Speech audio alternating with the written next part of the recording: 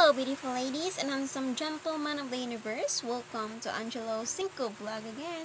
So for today's video guys, we're going to um visit Riyadh o MG mga guys. So we're going to visit Riyadh guys, one of the most um maybe a beautiful place. Yes, because um this is just my first time to be there. Char. So let's go and let's go. So have fun and enjoy watching. Please don't forget to subscribe and hit the notification bell so that you are updated for our next video. Thank you so much.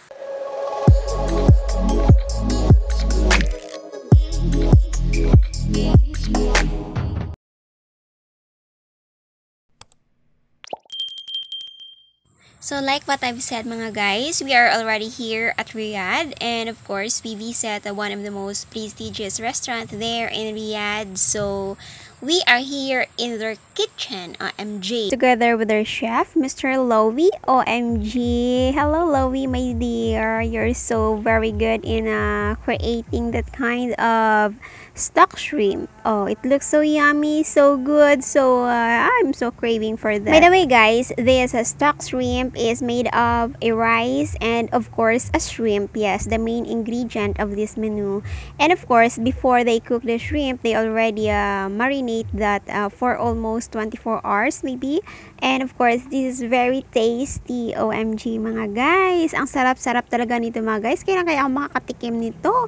Tsura pa lang niya. O, tingnan nyo naman. Parang nakakagutom na. O, ba diba? May rice na, may ulam na. Siguro kung dito sa atin is ma-compare natin siya sa isang chow pan. Ako naman chow pan kasi may gulay lang yun. Pero ito, rice na talaga siya. And of course, a shrimp. And they put at the top of this uh, stock shrimp, which is the ran sauce to improve your uh, taste buds. And of course, to increase your appetite. OMG, this is so yummy. So, kung sino man yung nandyan sa Riyadh mga guys, you can try to uh, go and visit the restaurant. Yes, the beef stock. Oh, I'm sorry to say. Chef Chloe is a very good and a very nice person in uh, making this kind of menu in creating like a mountain which is a very yummy mountain with a full of shrimp. Omg how much will be the cost of this? I'm gonna try to ask him later so that you can uh, um, you have an idea on how much would be the price of this stock shrimp in the restaurant. OMG! At this moment, guys, we can see that Chef Lowy is changing his gloves. Yes, because every time they uh, prepare something or they cook something, they have to change their gloves after they uh, prepare that one or they prepare that kind of menu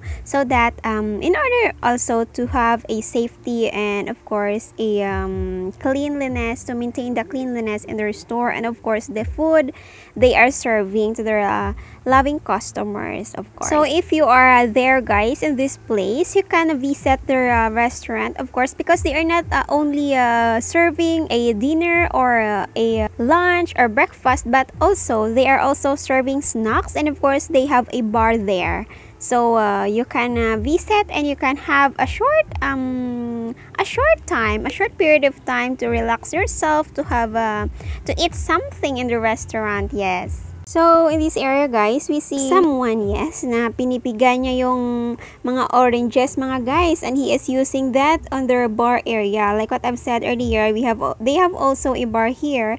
And you can enjoy also uh, to drink something, yes. And of course, this one is the coleslaw. So he, uh, Mr. Lowy is preparing another one, which is the coleslaw. And of course, uh, in preparing coleslaw, we have also, we need to have to prepare uh, those ingredients, which is the uh, radish, of course, the sugar, the vinegar, the uh, black pepper, the mayonnaise, and of course, we have here the run sauce. Yes, so let's go and let's try and let's uh, see what would be on how to prepare this kind of coleslaw. Yes, looks so yummy also, which is, um, I want to taste this one. so it's ready to start in preparing this coleslaw. So all we have to do is to follow and of course memorize the steps. So he transfer all the coleslaw to the mixing bowl and he's ready to start mixing. Yes, so the first thing is um, he put the uh, sugar, a small amount of sugar, a white sugar, yes. And of course, a small amount also of uh, vinegar, yes. And the next one is, of course, um, the ranch sauce who uh, improves the taste of our coleslaw. Yes, very good. In order, guys, to make it uh, thicker. Yes.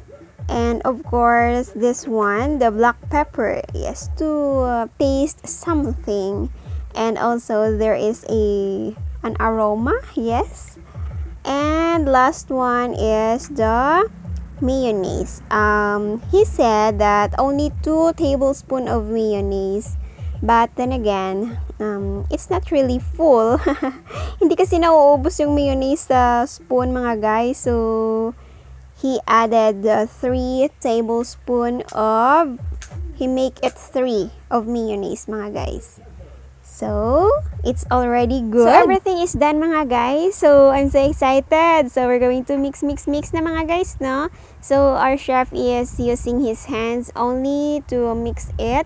Since meron naman siyang mga gloves mga guys na suot. So, okay lang yan kasi nga uh, clean naman siya. So, para ma-mix din natin siya ng maayos, kailangan talaga kamayin siya. Ah, diba? So, wala muna tayong hugot ngayon mga guys kasi napaka um, sarap nitong ulam natin at saka seryoso to. So, okay, wala tayong hugot ngayon ha. So, next time na lang yung mga hugotero natin dyan. At saka yung ating mga, ah, nako, yung mga maraming dala dyan. So, okay lang, mag-comment na kayo sa baba mga guys. Okay? So, just enjoy the view. So, nagpatulong si paring uh, Lowy mga guys, ating kaibigan nyo. Kasi yung isang kamay is nag, uh, ano pa, 'di ba? O nagmi-mix. So, 'yon. Thank you for your help daw, pare. O, 'di ba? So, parang masarap na siya mga guys, no? It looks so good na oh, parang uh, o 'di ba, yung yung sauce mga guys talaga yung nagdadala, o 'di ba? Kasi nga oh, malapot na siya saka yung parang ano siya mga guys parang uh, atsara o di ba dami ko na naman naisip mga guys no so sarap sarap siguro nito oh ano kaya lasa nito mga guys kasi yung ranch sauce talaga, oh, 'di ba? Siya yung nag ano, nagbibigay ng lasa sa ating coleslaw. Yes. So yung sauce nila dito mga guys, is sila lang din yung gumagawa. Yes. At saka um, meron silang secret ingredient kung paano gawin yan para lalong mas masarap yung kanilang mga luto dito mga guys sa kanilang restaurant. Yes. So, yan talaga yung every uh, owner ng mga resto, meron talaga silang um, um, secret ingredient para mas lalong uh, sumarap yung kanilang mga inihanda at uh, binibigay at siniserve na um, menu or food sa kanilang uh, mga customers. Yes. The coleslaw mga guys is already done. Yahoo! So at this moment guys, nandito naman tayo sa kanilang burger area. So paano ba gawin? Lutuin o i-prepare ang kanilang burger. Naka naman yan mga guys. O, ang kanilang patty. Ang lakas ng apoy mga guys. Naka naman yan. At saka guys, yung kanilang burger bun dito mga guys is meron tatlong kulay. Merong black, merong red, and of course we have brown. O diba? Sarap-sarap naman ito mga guys. So, Here na tayo sa panunood mga mga guys kasi hindi naman tayo makakakain nito. Nako naman yan. Unless siguro makawi si paring pango. Nako naman. So, ito na guys. Yung sa kanilang kitchen mga guys is may kanya-kanya silang assignment dito mga guys. Iba yung gumagawa sa burger. Iba-iba yung uh, gumagawa sa gulay. Yes. Iba din yung sa meat. And of course, iba din yung nagpi-prepare ng mga ingredients nila mga guys. Ah, uh, di ba? Parang ganun lang. Napaka-simple. But then again, mahirap din siguro yung ginagawa nila mga guys. Kasi sa isang araw, yung kanilang burger daw is mahigit 500 or sobra pa sa 500 yung mapapaubos nila kada araw. Everyday na ko naman yan. Diba? Ang dami-dami. Siguro sa sobrang sarap naman talaga, diba mga guys? Pero if sometimes daw, pag yung iba is wala nang ginagawa, of course, tumutulong din sila sa iba na busy-busy sa kanilang mga ginagawa, of course. So, parang ganun lang. Parang help one another lang sila doon. So, parang uh, magkakapatid lang din sila, diba? So, ito na mga guys, si chef is busy na din sa kanyang ginagawang patty. Oh, yung cheese. Nako naman yan. Ako yung nagugutom mga guys habang nanonood ako. Nako naman yan. Si chef kasi masyadong sinarapan. Oh. As in, super yum talaga mga guys. Talaga naman. Magpapaluto talaga ako nito kay Pango once makauwi siya. Ah, diba mga guys? O hindi man ako makatikim. Eh di sana oh, sa pag-uwi niya is ma mapagbigyan din tayo na makatikim tayo nito. Kahit hindi na red bun or black bun. Basta yung uh, taste niya is good, 'di ba? O 'di ba mga guys, meron ng luto agad. Uh, meron silang uh, nilagay na lettuce, and of course, merong parsley. Uh, see, nako naman. Iba-iba din yung ano nyo mga guys, inilalagay sa every uh, color is different. Also, different um, ingredient yung nandyan. Uh, merong onions, and then that one, lagyan ng sauce. Nako naman, sobrang yummy mga guys. Sarap-sarap talaga. Oh, itsura pa lang talaga. Oh, nagugutom na ako mga guys. Sarap siguro pumunta dito at kumain ng kanilang burger.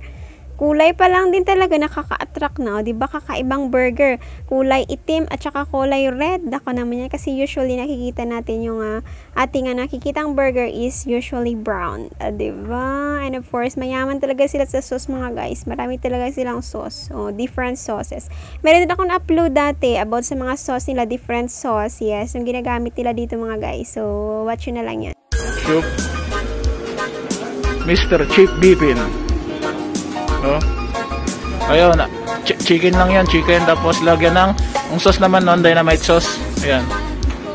Ayan, Pais, pabibi. Alhamdulillah. Magpipick up siya ng bread. Padas. Pus. Ang alaikum salam. Sure. Nandito tissue, then pick up. Oh, for takeaway. Takeaway. All takeaway, brother? How many? Uh, 1, 2, 3, 4, 5. One blood stock. One block stock, one on uh, class, class, one candied.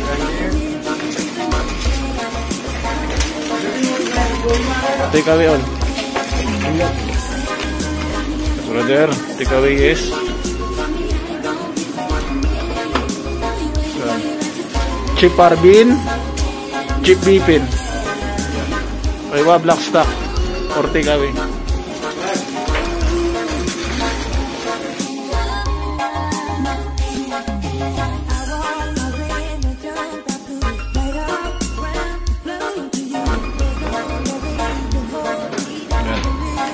Ayan yun yung grilled, grilled chicken burger. Masarap din yan. Kaso ang mamahal ng mga presyo nila rito. Ito yung Pilipino namin kasama. Ayan. Bali, tatlo lang kami ditong Pilipino sa kitchen. Siya, ako at saka si Chief Wilson. Wala rito eh. Ayan, masarap din yan. Panalo sa sauce yan. Dipping, dipping burger. Beefing burger. Ayun.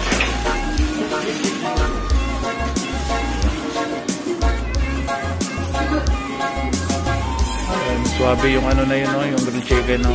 Kasi yung manok na yun, nakamarinate yun. Kami na mismo mga nagmamarinate ng lahat. Lahat-lahat dito kami nagmamarinate. Palas, barin. Thank you so much. Say bye-bye, brother. Bye-bye. Say bye-bye. Thank you so much. So that's all mga guys. Please don't forget to subscribe and hit the notification bell so that you're updated for our next video. And of course, like, comment, and share this video. Thank you. Bye-bye.